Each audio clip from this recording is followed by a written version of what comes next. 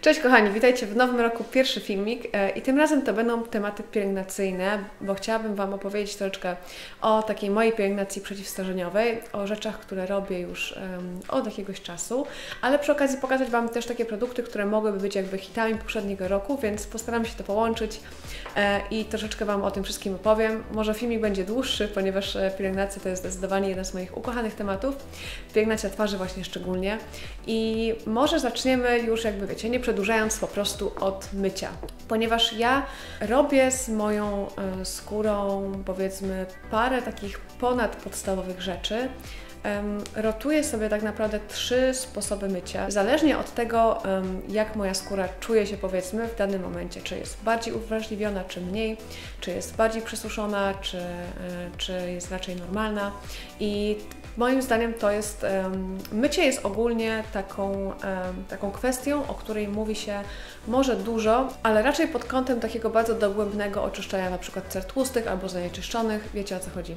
Natomiast stosunkowo niedużo mówi się o tym, że tak naprawdę nie musimy się decydować e, stricte na jeden rodzaj oczyszczenia. Możemy zmieniać te sposoby w ciągu miesiąca, kiedy nasza skóra, jako skóra kobiet też e, przechodzi intensywne zmiany i to jest bardzo ważne. I ja też to moje oczyszczanie u siebie mocno zmieniam, zależnie od tego właśnie, czy korzystam z kwasów, retinoidów, rolki, Tutaj e, wtedy trzeba się trochę bardziej nakombinować e, i trochę bardziej tą skórę obserwować.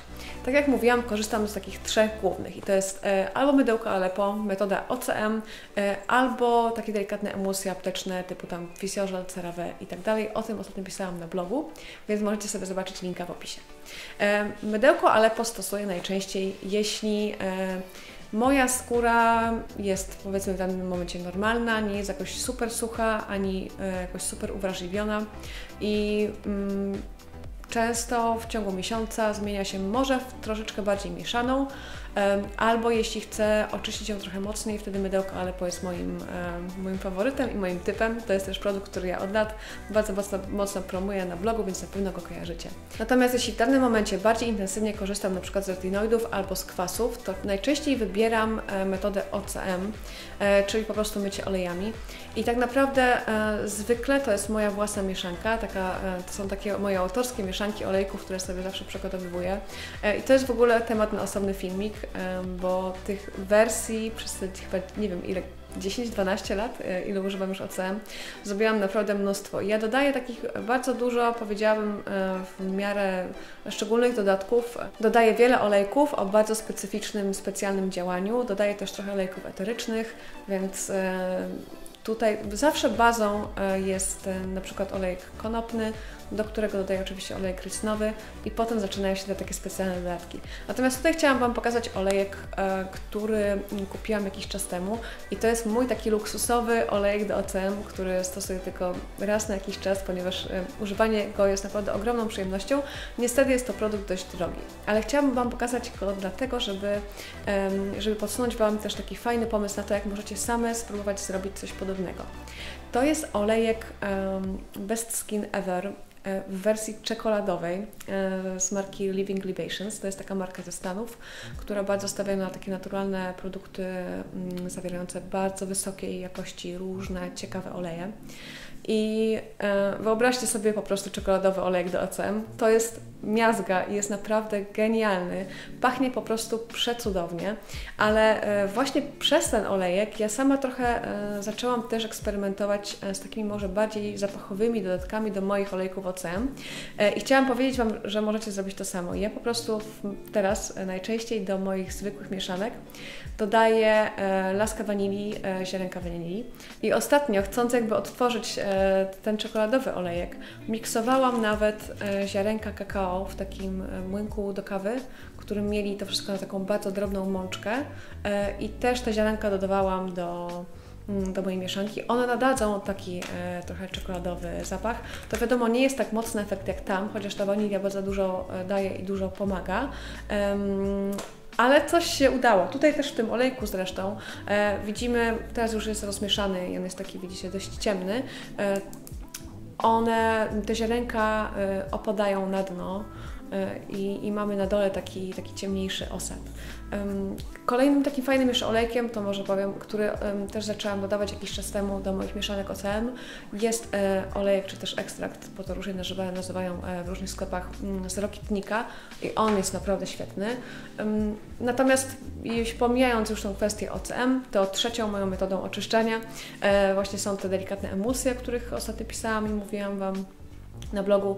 I to jest może taka opcja najbardziej coś właśnie pomiędzy OCM a mydłem Aleppo, kiedy z jakichś względów w danym momencie widzę, że OCM to jednak tego dnia nie jest do końca najlepsza metoda dla mojej skóry, to zwykle sięgam po emulsje i emulsje to też są naprawdę bardzo fajne kosmetyki, które generalnie wydaje mi się, że są trochę niedoceniane czy może nie tyle niedoceniane, co nie tak powszechne, jak powinny być, szczególnie dla osób z suchą skórą albo ze skórą mieszaną, um, które mają problem z jakąś suchością w, w efekcie pielęgnacji i szczególnie mycia mocnymi detergentami.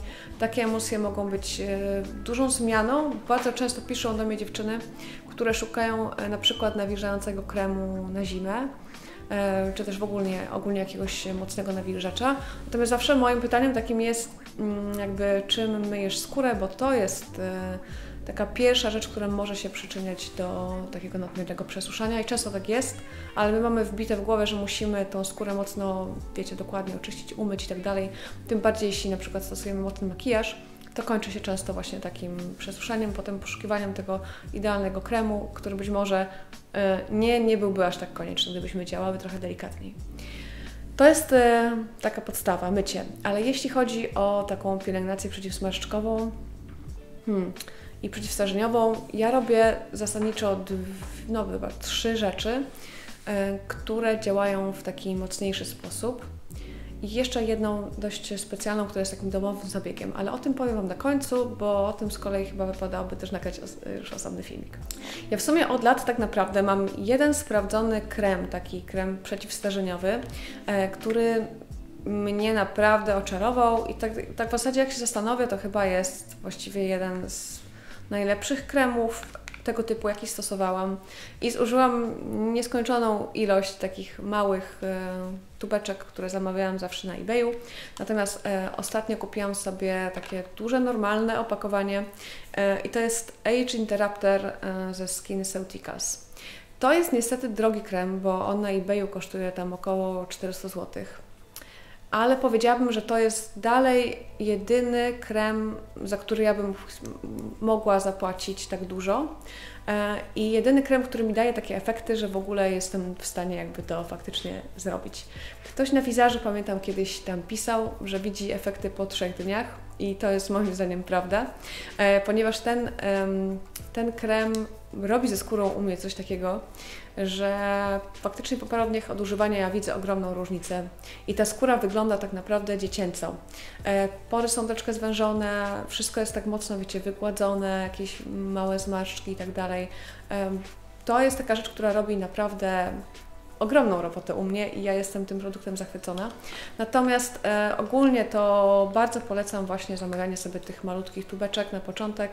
Um, na eBayu swego czasu było tego dość sporo, myślę, że teraz e, dalej tego troszkę jest i tym sposobem możemy sobie po prostu zobaczyć, czy ten krem nam pasuje, czy nie. To jest mój hicior, ale ja nie, ogólnie nie lubię mówić, że wiecie, coś u Was na pewno też się sprawdzi, będzie na pewno cudowne i w ogóle e, powiedziałabym, że o tym kremie mogłabym najbardziej w ten sposób opowiadać. On zawiera 30% składnika, który nazywa się Proxylan i e, w takim kremie e, laser coś tam chyba L'Oreal miał kiedyś coś takiego. Było tego składnika tylko 2% chyba albo 3. Natomiast tutaj mamy go 30 i ja zauważam, że to jest ta perełka, która u mnie działa. Nie ma więcej kosmetyków tego typu, przynajmniej ja ich nie znalazłam. E, wiem, że jeszcze La Roche-Posay też w którymś produkcie takim przeciwstarzeniowym ma tego e, troszkę, ale nie podają ile procent, natomiast tutaj SkinCeuticals podaje, że to jest 30, więc bardzo, bardzo dużo. Więc to jest taki mój przeciwstarzeniowy krem, natomiast on nie jest mocnym nawilżaczem, więc jeśli potrzebuję czegoś takiego e, jeszcze w danym momencie, to najczęściej to jest jakiś drugi kosmetyk. Mm, ja lubię naturalne kremy, lubię Make Me Bio, więc tutaj e, nie będzie jakiegoś zaskoczenia, ale też ostatnio testuję coś nowego, co bym pewnie Wam pokazała i myślę, że jest całkiem ok, ale chyba jeszcze na to za wcześnie. Natomiast e, kolejną, mm, kolejną rzeczą, która moim zdaniem ma tak naprawdę takie najmocniejsze działanie jakby przeciwstarzeniowe, hmm, czy też przeciwzmarszczkowe może stricte, są oczywiście retinoidy. Ja retinoidy stosuję już wiele, wiele lat. Nawet nigdy tego nie liczyłam, ale myślę, że spokojnie około 6, może nawet ponad 6. E, I więc moja skóra jest e, już trochę przyzwyczajona. Ja miałam takie momenty, że stosowałam te rzeczy na receptę, e, stosowałam Zorak, chyba u nas teraz już jest w ogóle niedostępny. Więc ja tak naprawdę mogę stosować trochę mocniejsze rzeczy i taką zaraz Wam pokażę. Natomiast e, z takich bardziej delikatnych może i dobrych na początek, to oczywiście The Ordinary ma, ma w ogóle świetne, świetne produkty tego typu. Um, Granactive Retinol, e, ten e, dwuprocentowy, emulsja. To jest taka rzecz, której używałam też w tym roku w sumie dość często. Z jej pomocą możemy uniknąć wszystkich najbardziej upierdliwych rzeczy w stosowaniu retinoidów w ogóle. Czyli nie mamy takiego super łuszczenia, skóra nie schodzi z nas jak z jaszczurek. E, ta skóra nie jest zaczerwieniona, tak bardzo nie jest uwrażliwiona. E, nie mamy też, to się często zdarza, jeśli się bardzo szybko zacznie dość duże stężenie, e, takiego efektu oczyszczania się cery, kiedy to wszystko wychodzi, to u wielu osób na przykład może trwać 3 miesiące nawet, też jest problematyczne. I to jest taki dość fajny, mm, dość delikatny produkt, który myślę, że można rozważyć. Natomiast ogólnie retinoidy to jest po prostu jakby, wiecie, małżeństwo do końca życia raczej niż romans.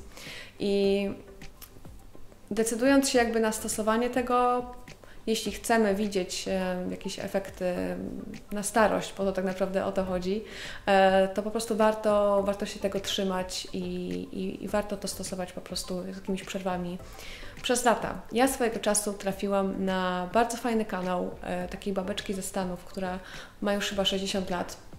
Wszystko Wam też podlinkuję na dole. E, I ona dostała, mm, został jej przepisany retin A e, w Stanach, e, właśnie taki krem, mm, chyba ze względu na jakieś problemy trądzik, trądzikowe u niej, nie wiem, około 30 roku życia, coś w ten deseń. I ona ten Retin A stosowała naprawdę bardzo, bardzo, bardzo długo i teraz na jej skórze to naprawdę widać, bo wygląda niesamowicie młodo. Widać, że ta skóra jest naprawdę tak mocno pogrubiona i te, jej struktura jest jakby zupełnie inna niż u osób, które nie stosowały tego rodzaju kuracji. I ogólnie w Stanach jest bardzo dużo kanałów, e, gdzie właśnie takie starsze babeczki pokazują swoją pielęgnację. One po tylu latach stosowania retinoidów już w ogóle łączą je bez problemu z kwasami, robią naprawdę takie cuda, e, których ja bym ogólnie jakoś nigdy super w życiu początkującym nie polecała. Natomiast takim moim e, silniejszym produktem, oprócz tego z The Ordinary, jest znowu SkinCeuticals i to jest retinol jedyneczka.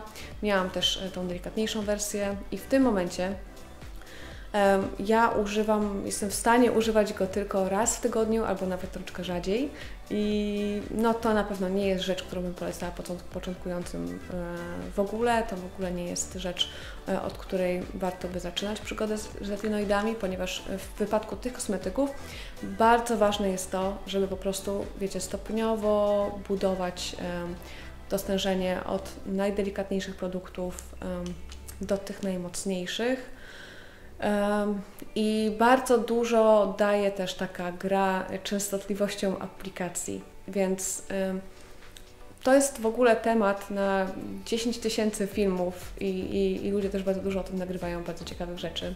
E, jak można osłabiać ewentualnie działanie kosmetyku e, e, z retinoidami, który jest dla nas za mocny, jak radzić sobie z jakimś łuszczeniem i tak dalej przy tych rzeczach aptecznych albo przy tych mocniejszych rzeczach. To jest bardzo ciekawa sprawa, natomiast tak jak mówię, taka bardzo też złożona kwestia i rozległa, nie ma co tutaj za bardzo się nad tym produkować. Natomiast chciałabym pokazać Wam te rzeczy, których ja używam. Y, I czasem ja sobie je rotuję. Jeśli akurat zauważę, że w tym momencie to też troszkę już dla mnie za dużo to zamieniam sobie na ten delikatniejszy e, i jakoś tam uzupełniam. Czasem, e, jeśli widzę, że moja skóra potrzebuje jeszcze czegoś innego i chcę na przykład włączyć kwasy albo rolkę, to zupełnie robię sobie przerwę od tego. Ja mam taką dość wrażliwą jednak pomimo tego skórę nadal, to są też takie dość mocne rzeczy e, i różne kombinacje, więc mm, Naprawdę warto dawać tej skórze też czas na to, żeby ona się przyzwyczaiła, obserwować ją i, i, wcale, wiecie, nie musi być tak, że my kupujemy jakiś kosmetyk i wcieramy go codziennie. Szczególnie jeśli chodzi o tego typu rzeczy, naprawdę warto zaczynać sobie nawet od jednego dnia w tygodniu i przez miesiące jakby też zwiększać tą częstotliwość. Właśnie ze względu na to, że jeśli chodzi o retinoidy i tak najprawdopodobniej będziemy chciały używać je latami, więc generalnie nigdzie się nam nie śpieszy e, i też nie musi być tak, żebyśmy już jakoś super intensywnie zaczynały. To nie jest dobry pomysł. Często kończy się jakby wiecie, takim efektem odwrotnym do zamierzonego. Ta skóra potrafi wtedy bardzo szybko wyglądać o wiele gorzej i wiele osób się z tego wtedy wycofuje bo faktycznie no ni niestety tak jest. To, to, nie jest łatwa pielęgnacja, to nie jest taka pielęgnacja dla każdego, ale jeśli chodzi o, o takie wiecie, długofalowe pogrubianie skóry i taką przeciwzmarszczkową prewencję, no to z tego co widzę, to faktycznie działa najlepiej. Jeśli już jesteśmy przy kwasach, to ja też używam bardzo różnych produktów, więc tutaj pomyślałam, że nie będę Wam pokazywać. O The Ordinary pisałam już na blogu bardzo, bardzo dużo. Tonik glikolowy, ich na przykład bardzo, bardzo lubię ogólnie. Kwas glikolowy to jest jeden z takich, który moja skóra lepiej toleruje. Natomiast tutaj mam e, salicylowy w płatkach z iHerba, też bardzo fajna sprawa. A chyba jest jeszcze taki zielony w wersji dla skóry bardzo wrażliwej. I już taką przedostatnią rzeczą, którą też stosuję bardzo wiele lat z przerwami, e, są rolki. I ja tutaj mam, mam tego ogólnie dość sporo. Mam takie z dłuższymi giełkami. Tutaj mam na przykład e, Environa, który jest takim zupełnym delikatesem i, i też e, stempelek e, z Environa. I już to pokazywałam na Insta Stories Wam kiedyś. Ta rolka ma tak malutkie i króciutkie, delikatne igiełki, że praktycznie ich prawie nie widać.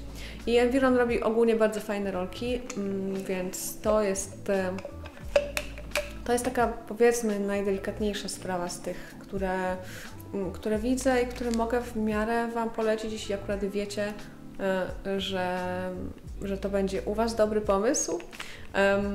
To, to, to są jak najbardziej w porządku. Natomiast generalnie powiedziałabym, że u mnie chyba retinoidy troszeczkę przewyższają rolowanie, aczkolwiek ono też ma swoje takie bardzo mocne miejsce w mojej pielęgnacji i do rolek e, wracam co jakiś czas, już latami. Natomiast niestety nie mogę um, robić takich rzeczy, które, z których bardzo wiele osób korzysta, jeśli chodzi o rolkę e, i, i która bardzo wielu osobom służy. E, nie mogę stosować za bardzo żadnych preparatów pod rolkę, ani żadnych ampułek po i tak dalej, bo moja skóra po prostu każdym razem reaguje takim dość mocnym nie. Dlatego jedyną rzeczą, którą ja mogę używać e, po rolkach są tak naprawdę jakieś bardzo proste olejki.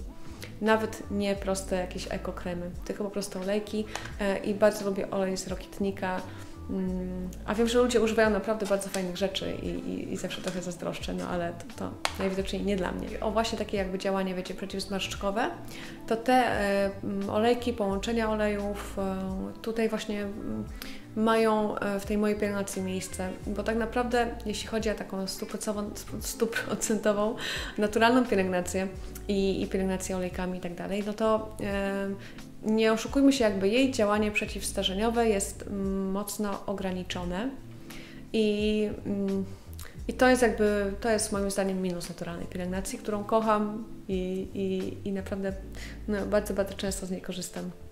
Natomiast takimi fajnymi połączeniami olejków, które bardzo lubię, których używam najczęściej, chyba używam najczęściej w tym roku, myślę, że to jest właśnie Decleor. Um, i ja używam tych olejków, które są właśnie e, takie jakby, wiecie, najbardziej przeciwstarzeniowe.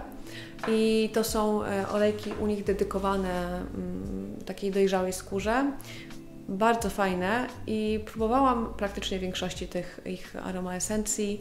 E, jedną z moich ulubionych, e, którą właśnie też stosuję często po rolce jest e, ta różana do skóry wrażliwej, ale bardzo lubię też lawendę i magnolię. To są takie dwie bardziej przeciwstarzeniowe. Myślę, że o tych, o tych rzeczach jeszcze nagram Wam filmik, jeśli będziecie ciekawe. Bardzo lubię też połączenia olejowe Madary i powiedziałabym, że Madara i Decleor to są takie najlepsze olejki do twarzy, jakie miałam okazję stosować. Więc te są naprawdę super. No ale żeby to jeszcze wszystko pielęgnacyjnie zamknąć, to oczywiście filtr. Ja używam um, Declora, to jest właściwie taki bardziej krem CC, ale tutaj mają SPF 50 i ten mi się bardzo podoba, jest bardzo fajny, taki lekki, ale nawilżający. Natomiast kolor jest taki dość jasny, ale też na szczęście dość transparentny, więc ja po prostu stosuję go pod podkłady um, i, i ten akurat bardzo mi się podoba. Ja stosuję bardzo różne rzeczy, jeśli chodzi o filtry. I ostatnią taką moją najbardziej specjalistyczną rzeczą, którą mogę Wam pokazać um, jest New Face i um, Dostawałam od Was dość dużo pytań na temat tego urządzenia i, i Najczęściej padające pytanie to było to, czy faktycznie ono jest warte swojej ceny i czy działa. I tak, moim zdaniem jest naprawdę warte swojej ceny y, i działa jak złoto. E, jeśli chcecie zobaczyć, ja znalazłam swego czasu bardzo fajne filmiki porównujące przed i po stosowaniu NuFace'a. Bardzo dobrze przygotowane i pokazujące tą zmianę zdjęcia u tej kobiety. Wszystko będziecie miały na dole w linkach, więc tam sobie zerknijcie. Powiedziałabym, że NuFace to jest naprawdę świetna rzecz.